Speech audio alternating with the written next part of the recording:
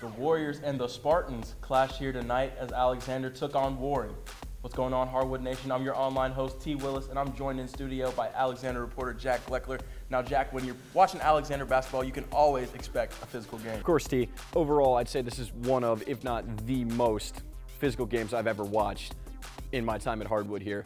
There were falls, fouls that were racking up throughout the entire game.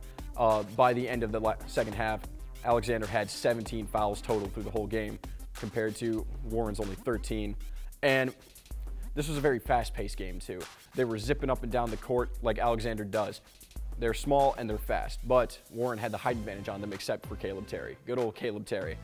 Uh, and I'd say this was a very good Alexander basketball game. They knew what they were sticking to their strategy, but ultimately it didn't pay off for them in the end.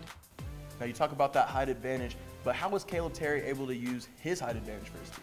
Well, since he was the tallest one on the on the court, he obviously he would lead the tip off, and whenever um, Warren would make a shot or they were tempted to pass, he could knock it out of the way, knock it over to his teammates, and they could make their own shots, and that helped them rack up the points. In fact, he, while not as doing as well as he did last his last game, he did rack up 14 points now, we had some good play from Alexander, but ultimately just couldn't come up with a win. What went right for them, though? Well, like I said before, Caleb Terry, he had a very good game. Not as good as his last game where he, where he was the star of the show, but he did rack up 14 points tonight. Very good for him. Uh, Dylan Meckham as well racked up 12 points. Uh, overall, the rest of the squad, they played fairly decent for Alexander basketball. Uh, and ultimately, they lost 59 to 46 tonight.